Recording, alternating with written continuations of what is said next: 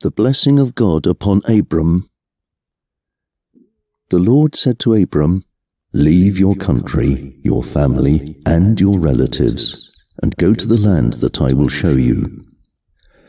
I will bless you and make your descendants into a great nation. You will become famous and be a blessing to others. I will bless those who bless you, but I'll put a curse on anyone who puts a curse on you. Everyone on earth will be blessed because of you. Abram was seventy five years old when the Lord told him to leave the city of Haran.